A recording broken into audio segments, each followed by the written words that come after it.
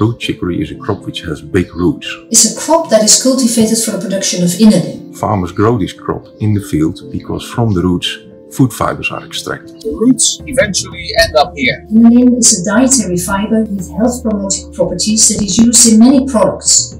It's used as a fat replacer or as a low calorie sweetener and to improve your gut health. Because of that reason, they are incorporated in products like yogurts and bars. The roots of chicory also store other products, um, so-called uh, terpenes. Many of the terpenes found in nature have medicinal properties. This is the Sensus factory where we produce inulin for chicory roots. In the Chic project we aim to develop sets of new chicory varieties. By making small adaptations in the genome of chicory, we breed new varieties that make all kinds of different health products.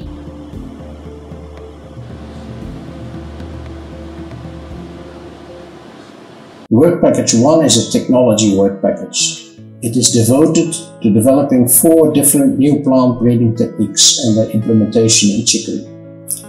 These four techniques are all based on genome editing using CRISPR-Cas9 and they differ only in the manner in which the genome editing molecules are delivered to the chicory cells. The genetic outcome of all four techniques is identical and will therefore lead to the same end result an improved chicory variety. In Work Package 2 we are using new plant breeding techniques in order to improve the yield and the health beneficial properties of inulin. Work Package 3 deals with the milky secretion that is produced in chicory plants, particularly in the roots. In Work Package 4, we assess the safety and technical impacts of the four conceptual different new plant breeding techniques in chicory. Furthermore, we also focus on regulations and legislations of new plant breeding techniques on a worldwide scale. By assessing and collecting legislations and regulatory suggestions how to regulate products of new plant breeding techniques. In Work Package 5, we assess socioeconomic and environmental impacts of the new chicory varieties and the resulting products. We focus on the whole value chain and systematically assess different types of impacts.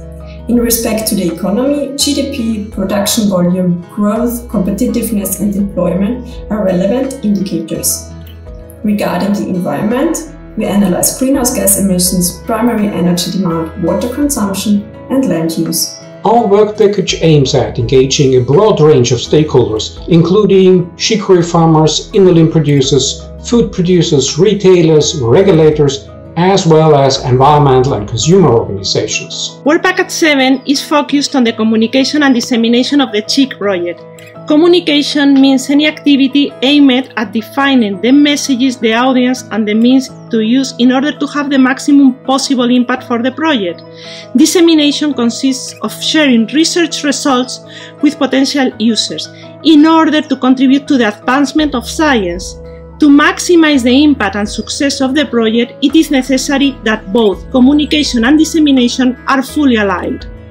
This implies good mechanisms for identifying results, adequate management and protection of the IP, defining communication strategies for each result, and once it has been communicated, there is a need, a need to measure the impact in order to have a continuous improvement. I'm leading the work package 8, where we are gathering uh, the information coming from the other work packages and, and, making an exploitation strategy for both high quality dietary fiber and for bioactive terpenes. We are measuring the polymerization degree of inulin and we are also subjecting that inulin to models which mimic the human gut.